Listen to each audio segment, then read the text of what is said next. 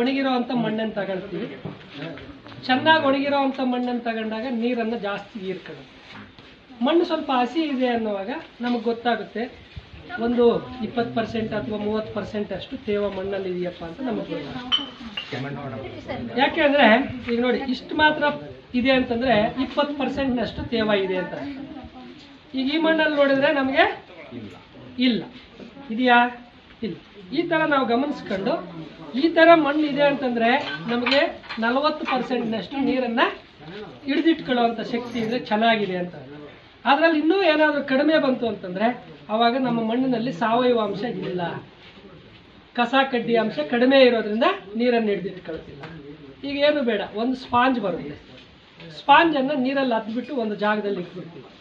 ಎಂಟು ಹತ್ತು ದಿನ ಆದಮೇಲೆ ತಗೊಂಡೋಗಿ ಹಿಂಡಿದ್ರೆ ನೀರು ಬರುತ್ತಾ ಬರಲ್ವಾ? ಬರುತ್ತೆ. ಬರುತ್ತೆ.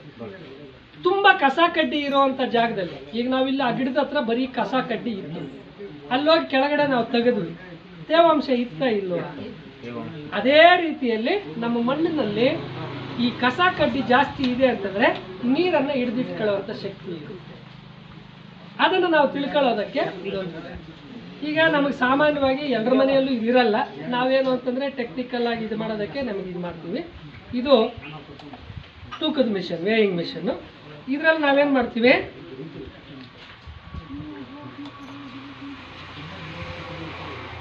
ಎಷ್ಟಿದೆ ಇವಾಗ?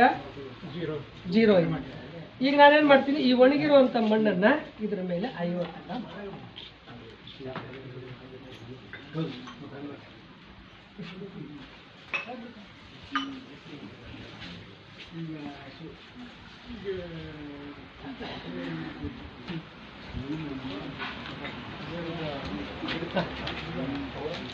ಈಗ ಐವತ್ತು ಗ್ರಾಮ್ ಮಣ್ಣು ಹಾಕಿದ್ವಿ.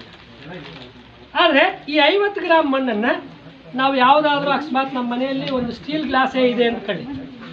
ಆ ಗ್ಲಾಸ್ ತಗೊಂಡು ಈ ಥರ ಮೆಜರ್ಮೆಂಟ್ಗೆ ಇಲ್ಲ ಅಂತ ಅಂದ್ಕೊಳ್ಳಿ. ಮೆಜರ್ಮೆಂಟ್ ಇದ್ರೆ ನಮ್ಗೆಲ್ರಿಗೂ ಗೊತ್ತಾಗುತ್ತೆ, ಮೆಜರ್ಮೆಂಟ್ ಇಲ್ಲ, ಅವಾಗ ನಾವು ಸುಲಭವಾಗಿ ಮಾಡ್ಕೋಬೇಕು ಅಂತಂದರೆ ಈ ಥರ ಒಂದು ಗ್ಲಾಸ್ ತಗೊಳ್ಳಿ ಈ ಗ್ಲಾಸ್ಗೆ ನೀವು ತಗೊಂಡಾಗ ನಮಗೆ ಮಿನಿಮಮ್ ಬರುವಂಥದ್ದು ಅಂದರೆ ನೂರು ಎಂ ಎಲ್ ಅಥವಾ ಇನ್ನೂರು ಎಂ ಎಲ್ ಗ್ಲಾಸೇ ಬರೋದು ಸ್ಟೀಲ್ ಗ್ಲಾಸ್. ಚಿಕ್ಕದಾದರೆ ನೂರು ಗ್ರಾಮ್ ಇದೆ ಅಂತ ಅರ್ಥ. ಸ್ವಲ್ಪ ದೊಡ್ಡದಾದರೆ ಇನ್ನೂರು ಎಂ ಎಲ್ ಇದೆ ಅಂತ ಅರ್ಥ ಮಾಡ್ಕೊಂಡು. ಅದಕ್ಕೆ ನಾವೇನು ಮಾಡಬೇಕು? ಈ ಮಣ್ಣನ್ನು ತುಂಬಿಸ್ಬೇಕು. ಯಾಕಂದರೆ ಗ್ಲಾಸ್ಗಾದರೆ. ನಾವು ಹಂಗೆ ಮಾಡ್ಕೊಳ್ಳೋದಾದ್ರೆ ಇದಕ್ಕೇನು ತುಂಬಿಸುವಂಥದ್ದಿಲ್ಲ. ಈಗ ನೋಡಿ, ಈ ಮಣ್ಣನ್ನು ನೀವು ಇಲ್ಲಿ ಗಮನಿಸಿ ಎಷ್ಟಕ್ಕೆ ಬಂದಿದೆ? ನಲವತ್ತು ಪರ್ಸೆಂಟಿಗೆ ಬಂದಿದೆ. ಅರ್ಥ ಆಯ್ತಾ? ಆದರೆ ಸ್ವಲ್ಪ ತೇವಾಂಶ ಇರೋದ್ರಿಂದ ತೂಕ ಒಣಗಿರೋ ಮಣ್ಣಾದರೆ ಐವತ್ತು ಗ್ರಾಮ್ ಬರುತ್ತೆ, ಅರ್ಧಕ್ಕೆ ಬರುತ್ತೆ. ಈಗ ನಾವೇನು ಮಾಡಬೇಕು? ಮೆಜರ್ಮೆಂಟ್ ಮಾಡ್ಕೊಂಡ್ವಿ, ಇಲ್ಲ ಹಂಗೆ ಹಾಕ್ಕೋಬೋದು. ಮೆಜರ್ಮೆಂಟ್ ಇಲ್ಲ ಅಂತಂದಾಗ ಒಂದು ಗ್ಲಾಸಲ್ಲಿ ನಾವು ಅರ್ಧಕ್ಕೆ ಮಣ್ಣು ತುಂಬಿಸ್ಕೊಂಡು ಅದ್ರ ತುಂಬ ನೀರು ತಗೋದು. ನೀರು ತಗೊಳ್ಬೇಕಾದ್ರೆ ಮಣ್ಣು ಇರಬಾರ್ದು ಇದರಲ್ಲಿ. ಮಣ್ಣನ್ನು ಏನು ಮಾಡಬೇಕು? ಈ ಥರ ಒಂದು ಆಳ್ಕೆ ತಗೋಬೇಕು. ಈಗ ನಾನೇನು ಮಾಡಿದ್ದೀನಿ? ಇಲ್ಲಿ ಮೆಜರ್ಮೆಂಟ್ ನೂರು ಎಂ ಎಲ್ ಇದು ಇದೆ. ಇದು ಕೂಡ ನೂರು ಎಂ ಎಲ್ ಇದೆ. ಹೌದಾ? ನೂರು ಎಂ ಎಲ್ ಎ ಇದೆ.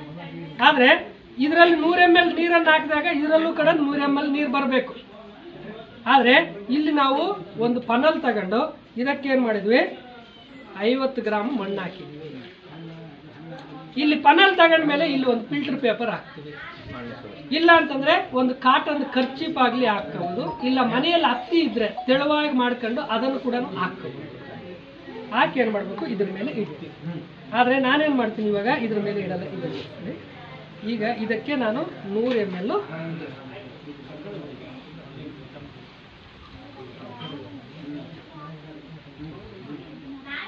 ಇದೆಯಾ ಕರೆಕ್ಟಾಗಿ ಈಗ ಇದಕ್ಕೆ ನೀರು ಹಾಕಿದರೆ ಇದು ಕೂಡ ನಮಗೆ ನೂರು ಎಂ ಎಲ್ ಮೆಜರ್ಮೆಂಟ್ ಕರೆಕ್ಟಾಗಿರೋದ್ರಿಂದ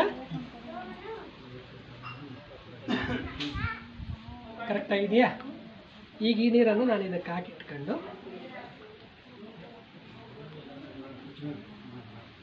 ಈಗ ಈ ಪನ್ನಲ್ಗೆ ನಾವು ಎಷ್ಟು ಹಾಕಿದ್ವಿ? ಐವತ್ತು ಗ್ರಾಮ್ ಮಣ್ಣು ಹಾಕಿದ್ವಿ. ಇದ್ರ ಮೇಲೆ ಒಂದು ಫಿಲ್ಟರ್ ಪೇಪರ್ ಹಾಕಿದ್ವಿ. ಈ ಫಿಲ್ಟರ್ ಪೇಪರ್ ಹಾಕಿಲ್ಲ ಅಂದ್ರೆ ನೀರು ಹಾಕಿದಾಗ ಏನಾಗುತ್ತೆ? ಮಣ್ಣು ಸಮೇತವಾಗಿ ಬಂದ್ಬಿಡುತ್ತೆ. ಫಿಲ್ಟರ್ ಪೇಪರ್ ಇರೋದ್ರಿಂದ ಬರೀ ನೀರು ಮಾತ್ರ ಫಿಲ್ಟರ್ ಆಗುತ್ತೆ.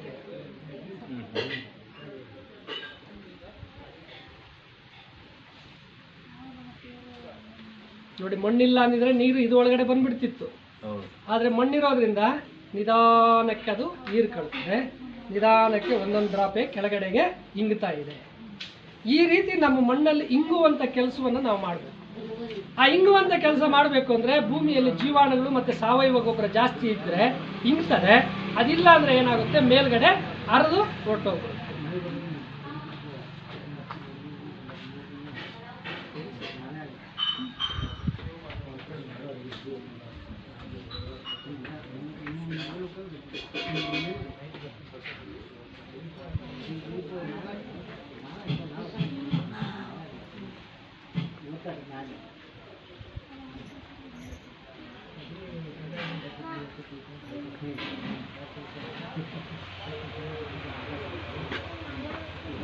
ಜಾಸ್ತಿ ಆಗಿ ಪ್ರಾಬ್ಲಮ್ ಆಗತ್ಬಿಟ್ಟೈತಿ ಈಗ ಹ? ಹ?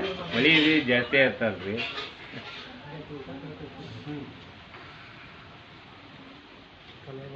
ಅಂತ ಅಂತೂ ರೈತ ನಮಗೆ ನಿನ್ನೆ ಮೊನ್ನೆ ಕೂಡ ಕೆರೆಗಳೆಲ್ಲ ಕೂಡಿ. ಅಷ್ಟು ಮಳೆ. ಎಲ್ಲಿರಿ ಕೋಲಾರ. ಕೋಲಾರ ರೀ. ಎಂಟನೇ ತಾರೀಕಿಂದ ಒಂದೇ ಜಡಿ ಮಳೆ.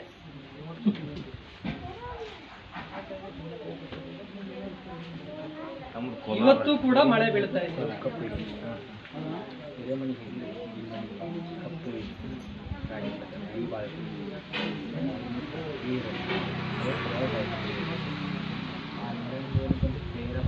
ಈಗ ನಾವು ಹಾಕಿರೋದು ನೂರು ಎಂ ಎಲ್ ನೀರು. ಆದರೆ ಇಲ್ಲಿ ಐವತ್ತು ಗ್ರಾಮ್ ಮಣ್ಣು ಹಾಕಿದ್ದೀವಿ ಕೆಳಗಡೆ ನೂರು ಎಂ ಎಲ್ ಫಿಲ್ಟರ್ ಪೇಪರ್ ಹಾಕಿ ನೀರು ಹಾಕಿದ್ದೀವಿ ಈ ಮಣ್ಣು ಎಷ್ಟು ಅಬ್ಸರ್ವೇಷನ್ ಮಾಡ್ಕೊಂಡು ಕೆಳಗಡೆ ಅಷ್ಟು ನೀರು ಬಂದಿರುತ್ತೋ ಅವಾಗ ನಮಗೆ ಗೊತ್ತಾಗುತ್ತೆ. ನನ್ನ ಮಣ್ಣಲ್ಲಿ ನೀರನ್ನು ಹೀರಿಕೊಳ್ಳುವ ಶಕ್ತಿ ಇಷ್ಟಿದೆ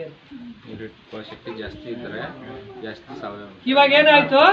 ಇದು ಅವ್ರ ಹೊಲದ ಮಣ್ಣು ನೋಡಿದ್ವಿ. ನಾವೇನ್ ಮಾಡಿದ್ವಿ? ಇಲ್ಲಿ ಮೂರು ತರದ್ ತಗೊಂಡಿದ್ವಿ. ಒಂದೇ ತೋರದ ಗಿಡ. ಈಗ ಇಲ್ಲೇ ಗಿಡದ ಕೆಳಗಡೆ ಇರುವಂತ ಮೇಲ್ಭಾಗದ ಮಣ್ಣನ್ನು ತಗೊಂಬಂದಿದ್ವಿ. ಇದನ್ನೂ ನೋಡ್ತೀವಿ.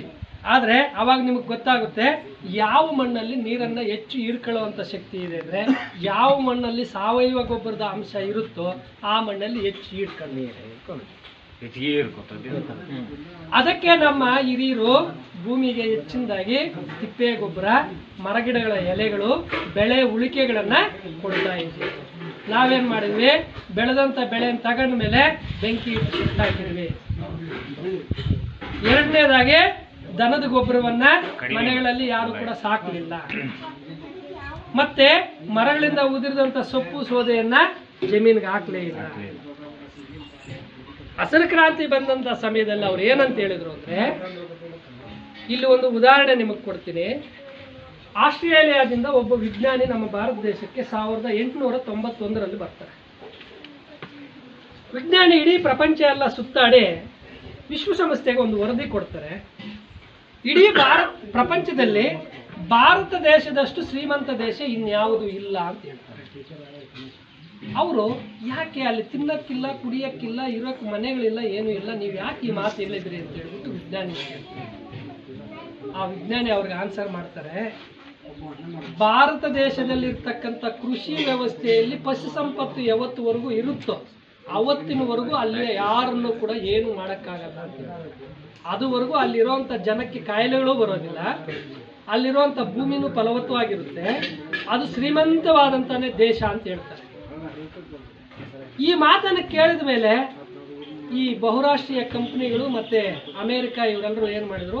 ಏನಾದರೂ ಮಾಡಿ ಇದರ ಮೇಲೆ ಸಡ್ಡೊಡಿಬೇಕು ಅನ್ನೋದಕ್ಕೆ ಆಲೋಚನೆ ಮಾಡಿದರು. ಆಲೋಚನೆಗಳನ್ನು ಮಾಡಿ. ಅವತ್ತು ನಮ್ಮ ಭಾರತ ದೇಶದಲ್ಲಿ ಜನಸಂಖ್ಯೆ ಎಷ್ಟಿತ್ತು ಅಂತಂದರೆ ಬರೀ ಮೂವತ್ತು ಕೋಟಿ ಇತ್ತು. ನಮಗೆ ಸ್ವಾತಂತ್ರ್ಯ ಬಂದಂಥ ಸಮಯದಲ್ಲಿ ಮೂವತ್ತಾರು ಕೋಟಿ ಆಗಿತ್ತು. ಜಾನುವಾರುಗಳ ಸಂಖ್ಯೆ ಎಷ್ಟಿತ್ತು ಅಂದರೆ ನೂರ ನಲವತ್ತು ಕೋಟಿ ಇತ್ತು. ಇವತ್ತು ನಮ್ಮ ಜನಸಂಖ್ಯೆ ನೂರ ನಲವತ್ತು ಕೋಟಿ ಇದೆ ಬರೀ ಇಪ್ಪತ್ತು ಕೋಟಿ ಜಾನುವಾರುಗಳಿವೆ ಅಲ್ಲಿಗೆ ನಮ್ಮ ಭೂಮಿಯ ಸಂಪತ್ತನ್ನ ಯಾವ ರೀತಿಯಲ್ಲಿ ನಾವು ದಿನೇ ದಿನೇ ನಶಿಸ್ಕೊಂಡ್ವಿ ಅನ್ನೋದನ್ನ ಇಲ್ಲ. ಅದಕ್ಕಾಗಿನೇ ಯಾವತ್ತು ಪಶು ಸಂಪತ್ತು ನಮ್ಮ ಭೂಮಿ ಮೇಲೆ ಜಾಸ್ತಿ ಆಗುತ್ತೆ, ಆವತ್ತು ಮತ್ತೆ ನಮ್ಮ ಭೂಮಿ ಫಲವತ್ತಾಗುತ್ತೆ ಅದುವರೆಗೂ ನಾವು ಎಷ್ಟು ಪ್ರಯತ್ನ ಮಾಡಿದ್ರು ಕೂಡ ನಮ್ಮ ಭೂಮಿಯನ್ನು ಮಾಡಲಿಕ್ಕಾಗಲ್ಲ.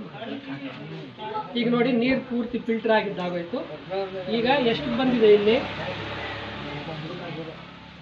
ಎಂಬತ್ತ ನಾಲ್ಕು. ಹದಿನಾರು ಪರ್ಸೆಂಟು ನೀರನ್ನ ಅಬ್ಸರ್ವ್ ಮಾಡುವಂತ ಶಕ್ತಿ ಈ ಮಣ್ಣಿಗಿದೆ. ಈಗ ಇದೇ ಮಣ್ಣನ್ನ ನಾವು ಬೇರೆ ತಗೊಳ್ಳೋಣ. ಇದನ್ನ ಆ ಕಡೆ ಚೆಲ್ಲಿ. ಹಂಗೆ